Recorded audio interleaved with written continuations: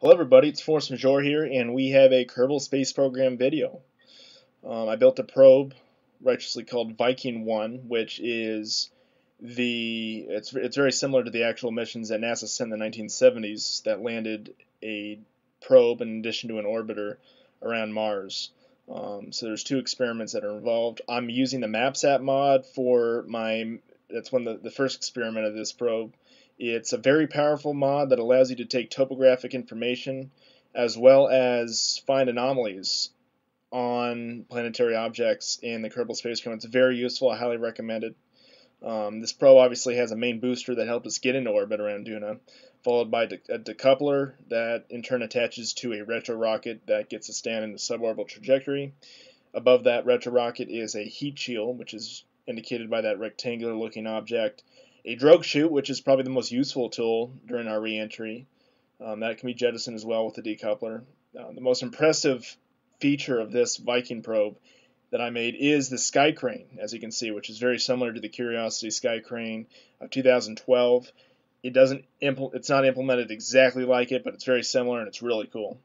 Uh, that in turn is connected to the main little rover. It looks kind of like the Pathfinder Sojourner uh, rover in the 90s. Um, but that that's connected to the sky crane. So here we go. We're, we're jettisoning the landing probe so we can make a rather precise, within a couple kilometers, landing on a specific point. Now I'm using this additional mod called MechJeb. This is probably the most powerful mod you can get for Kerbal Space Program. One of its features is it allows you to land or you get if you get coordinates for your anomaly, which the MapSat program will allow you to do after you orbit a couple times, it gives you coordinates to that position, and it allows you to to land rel- relatively accurate. I mean, very accurately actually. I mean, it has an autopilot where technically you click a button and it will land your probe. It's amazing. However, I I like to do it manually. I pretty much use MechJeb only as a reference tool. It's uh, that that's really how I use the mod it's much it's more fun for that that way for me in my opinion. Um, so basically, the landing guidance subset of this mod is very powerful. It, it calculates two things. It calculates the atmosphere of Duna, which is pretty thick. It's basically thick enough for you to have to think about it, and you know it'll cause problems. So you you have to fa- it's an, it's a big enough factor to make it a part of your design of your probe. Uh, but it's also thin enough where you can't just deploy chutes and just sop down nicely. You have to uh, use a drogue chute. Um, another po- uh, powerful part of the landing guidance mod is it actually it compensates for rotation, so it allows you to uh, kind of aim in advance of your target because obviously the, the planet is rotating. As you can see here, I'm actually intentionally overshooting my intended target. The red little triangle is my ideal position, and that blue triangle is just past the red triangle, and that actually is on purpose. The reason is, is Duna, of course, has an atmosphere, and I have that drogue chute. That will basically slow me down considerably. So I'm overshooting the target intentionally so that when I deploy that drogue chute, it pretty much puts me right where I need to be. Um, so basically, we need to get ourselves from a polar orbit. We're passing over the North Pole of Duna at the moment. We're going to put ourselves in a polar orbit into a suborbital trajectory so we can land where we want to be. Again, we're aiming for about a couple kilometers distance away from our intended target. Now, with an atmosphere, that's very difficult. You know, places like the moon and even Duna's moon Ike, uh, it's much easier to land precisely because there is no atmosphere. The atmosphere really is a tough, tough thing to deal with, as it is in real life. But uh, yeah, so basically we are getting ready to conduct our burn here. 347 meters per second. That's not that much. I mean, if you look at my upper right part of the screen, that's my favorite screen in MechJeb. It basically is a uh, delta V uh, map. Think of delta V as, as like gas in your fuel tank. It basically tells you how much energy you have to conduct operations in orbit or wherever you need to be. It allows you to transfer to planetary objects, and for manned probes, it allows you to return back to Kerbin, which is obviously very important. Um, as you can see here, I have 900 meters per second pretty much left of delta V. That's pretty much overkill. I intentionally built this probe with uh, more delta V than I actually needed. Uh, th- that's because I wanted the freedom to transfer around to you know Duna's moon if I wanted to to adjust my eccentricity, my inclination, all that stuff. Um, one thing here that I, I really want to recommend or really just suggest in Kerbal Space Program is if you make a mistake or your burn isn't quite perfect, you can always adjust and you can always fix your problem. That's a really important tenet to learn in Kerbal Space Program to never worry. You can always adjust, provided you have the energy and you didn't royally screw up. But here again, I'm just going to make a slight adjustment to my trajectory. Again, 20 meters, about 20 meters per second, that's nothing. And it's really important that you actually do these corrections as early as possible because the earlier you make the corrections, the less delta V you actually use. Um, that applies for transferring to other moons. Uh, the moon, obviously, out, out, outside uh, Kerbin, the Minmus, which is the highly eccentric and inclined moon, uh, the home planet in this game.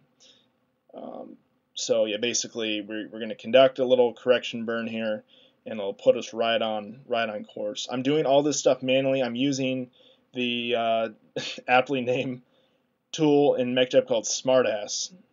Of course, uh, that that actually it's it's very useful. Basically, you just click a button and it it makes your heading exactly what you need it to be. But I'm actually doing the burns manually, uh, just so I have a little bit extra control. And again, it's more fun to try to do this stuff manually. Again, MechJeb is just basically a resource that you can use to as just guidance basically. Um, so yeah, we're basically there's oh there's Ike actually in the background as you can see it. I have this particular flight to Duna. I actually have a generation of four spacecraft, uh, two of which are manned by Kerbals. One uh, one probe will actually land on Mars, man landing, and the other will land on Ike. And I have two of these Viking probes, Viking 1 and 2, obviously very similar to the real life counterparts, again, that I mentioned earlier, uh, that contain a bunch of experiments. Uh, so we can basically survey Ike and Duna, we, we can also land probes and conduct experiments as well. So right now I'm basically just orienting myself in line with my trajectory and obviously in the retrograde attitude um, as we begin our descent. It's obviously, time compression is really valuable here, otherwise, you'd be waiting a couple hours. So we're just making a couple quick corrections. One important point, you can actually see me correct and kind of move my probe around. You want to orient your probe so that if you make movements left and right, they actually the probe will actually go left and right. If you if you don't do that, you when you try to go right, you'll go left. So all I know right now is that if I go up and down, left or right, my probe will actually do that and it won't translate the opposite directions. You just have to orient your probe correctly. As you can see, I just jettisoned my retro rocket. I don't need that anymore. Um, but I would argue that in this game, landing small probes on planetary objects is the hardest thing to do. And it really comes down to this thing where sometimes you'll get discombobulated and you'll try to adjust by you know making your probe, especially when you're burning, and you have the thrusters on, you know, left and right and all that stuff, and basically you what happens is if you don't orient the camera properly, you'll try to go one way but you'll go the other, and your your probe will literally burn directly towards the ground and crash and die horribly. So it's really important. Again, I can't emphasize this enough to actually orient your camera uh, in a way that actually accurately mimics the control surfaces. So as you can see here, we're getting close to actually entering the atmosphere of Duna here. We're at 30,000 meters. You probably won't be able to see the probe heat up. We're, we're going fast, technically, I mean, 1,000 meters per second, but the atmosphere, we're at such a low angle. Again, it's really important you do that low angle because your heat is diminished, that we aren't really seeing the flames and all that jazz that you really see when you re-enter uh, Kerbin. So as we're going here. Now we're starting to hit the real atmosphere at about 12,000 meters, and we're about ready to kill the heat shield and drogue chute. 10,000 meters, that's a benchmark. And we're really close here. We're, we're going to jettison the heat shield and deploy the drogue. And we do it, and drogue chute successful. We're looking good. So you can see here, look at look at our velocity. That drogue chute's a huge help. It's it's just absolutely killing our velocity. We're not using any delta V to do that. When you're dealing with Duna's atmosphere, it's really important that you stick to drogue chutes. Do not try to use the main chutes and uh, you know the, the chutes that you actually use to re, you know to recover and splash down in, in Kerbin. They will simply rip off. I guarantee it. To the trajectory is, is simply you're going too fast, and if you try to deploy those chutes, they'll just rip right off, and your probe will explode and burn and cost the uh, Kerbals billions of dollars of taxpayer money. So you, you don't want to do that, of course. You don't want to be an embarrassment. So look at that. We we got right between blue, the blue and red triangles. That's exactly where we really wanted to be. Again, I'm not there. There is a spoiler. I'm trying to get to an, an anomaly. I'm if it'll I'll warn you when that spoiler actually comes. Um, I'm gonna pull up the MapSat mod and see actually how fat, how close we landed to our target. So I'll warn you in advance, but uh, we are heading to an anomaly that I detected. So just be wary of that. Um, as you can see, our we're descending down into Duna at about 20 meters per second. That's pretty nice. However, that's certainly too fast to land. So as you can see here, we are about to uh, snip the chute and activate our sky crane to touch down nice and slowly. About 3,000 meters, again 20, 18 or so meters per second. Just taking it nice and easy. As, and as we get closer, we snip the chute. Here we go. We deploy the sky crane to make hopefully a nice soft landing. Um, really important when you're when you're dealing with thrusters in, in these gravitational environments. You got to be really careful with how much thrust you apply you also got to be careful about making fine adjustments. You don't want to overcompensate if you do. You know, that situation I was telling you about where you basically lose control of your spacecraft inadvertently because of, you know, it'll, you know, misorient or whatever. Just take it nice and slow. It's just like landing a plane, except you're just dealing with uh, vertical velocity only. Nice and slow.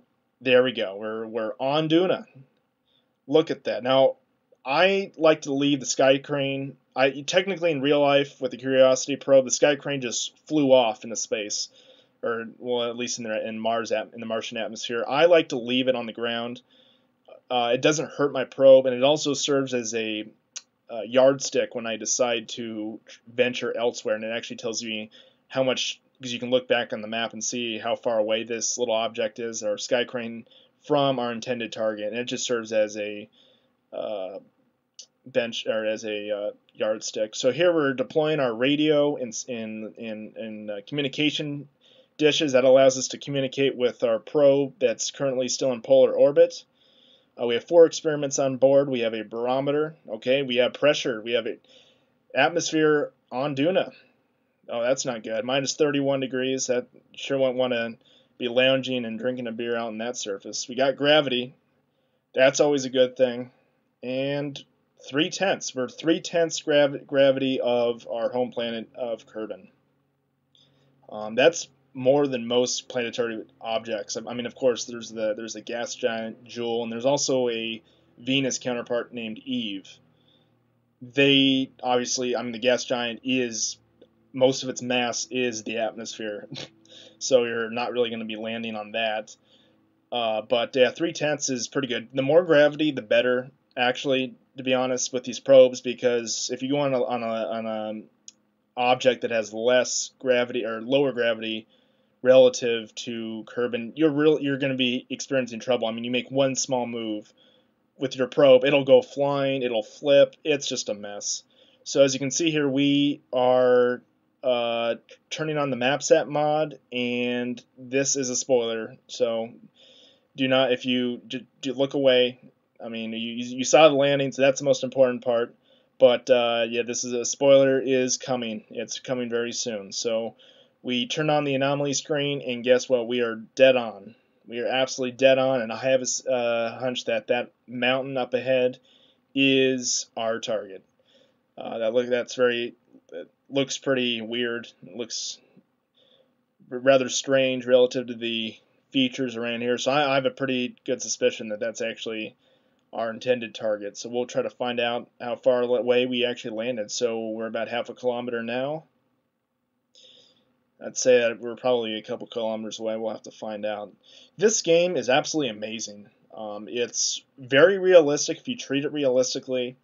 The, the the biggest joy is really engineering and making these little probes and uh, vehicles that travel to these places, and it's all on you. I mean, yes, there's there's there's mods like MechJeb that try, that try to make your life easier, but at the end of the day, you really have to. I mean, just let's just say you use autopilot all the way using the MechJeb mod. Well, you still had to make the you know the rocket that got your probe or your manned spacecraft into orbit. You know, it, it's just a really great game. It's uh, literally, literally a couple hundred megabytes of memory. It's a at a really good price, and it provides hours and hours of enjoyment. I mean, for me, the big inspiration in this in this game is finding these anomalies around the Kerbal uh, I guess Kerbal system or you know the Kerbal solar system. They're scattered all around the object. Some have more than others. Duna has several. I'm not going to spoil where they are or what they are. I still have to find that on my own. If you notice, actually, in our bottom left part of the screen here with the MapSat mod, there's a great canyon system along the equator of Duna. I'm actually going to visit that uh, canyon system. It's actually very similar to the Grand Canyon of Mars um, soon with my manned probe that's currently orbiting Duna at the moment. That's probably where I'm going to set foot and you know plant the flag, uh, so to speak. One uh, key point with this with these probes is you want to stay below 10 meters per second. If you go past 10 meters per second, you will be in serious trouble. Uh, you'll go too fast. You make a little correction, the thing will just go flying and explode hor- horribly. so you don't want to do that. Another key thing is if you see in the bottom left part of the screen here, I'm actually moving this rover using the docking mode. If you try to use the staging mode, which is indicated by the little rocket, right now we're on the little, I don't know, looks like a little round ball, which is probably a thruster or something.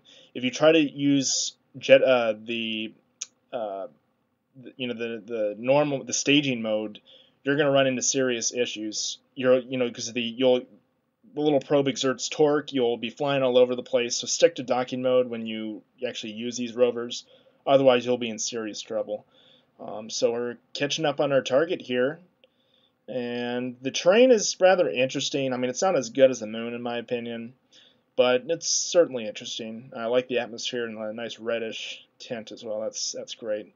So yeah, that that boulder is pretty big. Now this this probe is pretty much the same size as a you know just pretty much the scale as the Sojourner uh, probes. Maybe Opportunity in some of those. So as you can see here, we are 2.2 kilometers away. That's pretty good. I'd, I'd say that we're three. We landed three kilometers away from our intended target, which is absolutely fantastic. In real life, I think the record for rovers on another on a, on a foreign surface is about 30 kilometers. I think it's held by the Soviets. They landed a probe on the moon, and the they basically moved the rover about 30 kilometers. The close second, third, and fourth place, however, are the lunar rovers that uh, were deployed on Apollo 15, 16, and 17. Those are just under that Soviet probe uh, in terms, but those were manned. Those were driven by mans. That's pretty much more impressive, really. Um, so we're making our, you know, our climb to the our target and to declare victory in this endeavor. So uh, that that was a great reentry. We got within three kilometers of our target. I hope the big takeaway from this video for you all is how to design the probes and how to design the reentry system in terms of having a retro rocket, a drogue chute to slow you down, and potentially a sky crane. I, I, I really don't think. I mean, I guess if you used a lot of parachutes, but you'd you know you could technically land just using drag created by parachutes, but realistically, I think you're really constrained because uh, you you know you would have to deploy the drogue chute first. So just use a drogue chute. That's the, my biggest key or the key point to take away from this. So we've reached the summit of our target. So that pretty much concludes this video. Thanks for watching, and we'll see you next time.